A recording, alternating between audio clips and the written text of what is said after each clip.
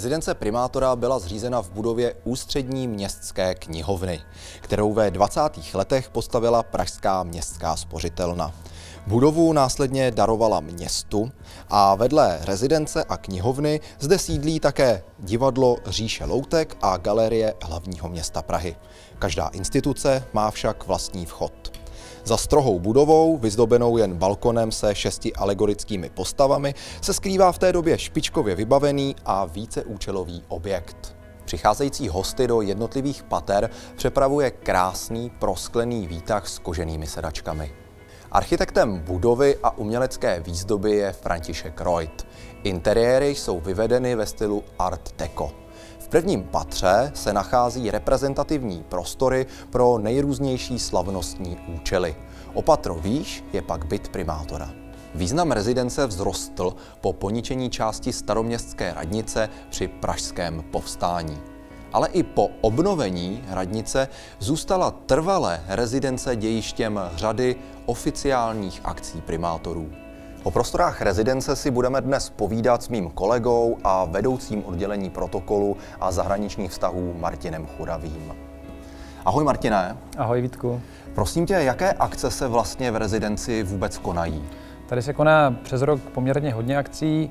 Některé znáš velmi dobře, jako třeba tiskové konference v Dámskopánském salonku a moje nejoblíbenější akce jsou například eh, tradiční novoroční číševína s diplomatickým sborem nebo tradiční vítání prvorozených pražských občánků či oceňování jednotek integrovaného záchranného systému, které se konají v tom nejhonosnějším a nejreprezentativnějším sále zde v prvním patře primátorské rezidence.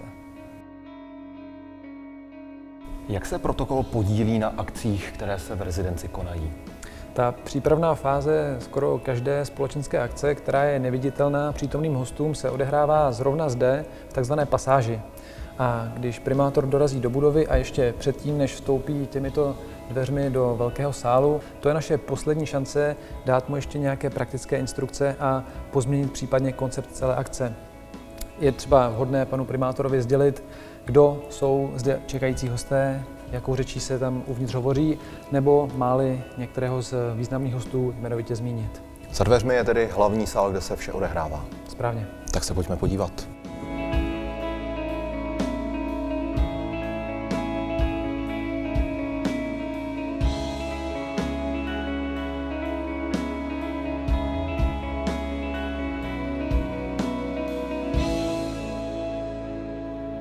Martine, jak takové události tady v tom sále probíhají?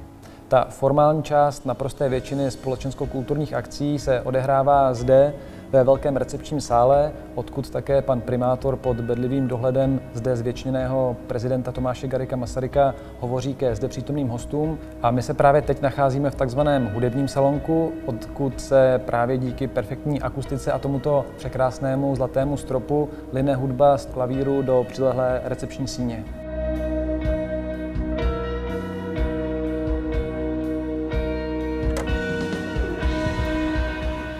My procházíme zimní zahradou, abychom vstoupili do jídelního sálu. Jak už název napovídá, v jídelním sálu se konaly obědy a večeře. Po jejich skončení se potom dámská část osazenstva odebrala do citronového salonku na čaj a pánská část osazenstva do hráčského salonku na digestive. A mimochodem už za první republiky znali naši předkové důmyslná výdění okénka. Tak, aby se služebnictvo nepotkalo z hosty rezidence.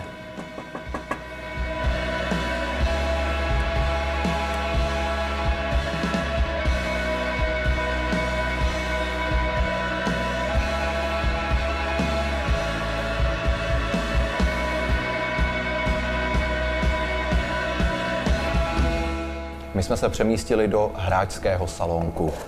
Martine, jaké slavné osobnosti tento salonek a nebo celou rezidenci navštívili? Konkrétně tento salonek, kterému se rovněž přezdívá Kuřácký, si z nějakého neznámého důvodu oblíbil i prezident republiky pan Miloš Zeman.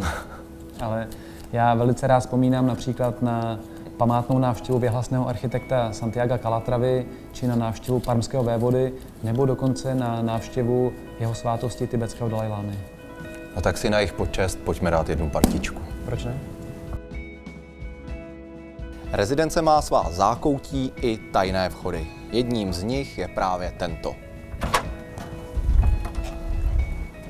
Podle dobových drbů právě tudy vodila manželka prvorepublikového pražského primátora Baxy dovnitř své milence. Tak to by mě zajímalo, k čemu se ten vchod používá dnes.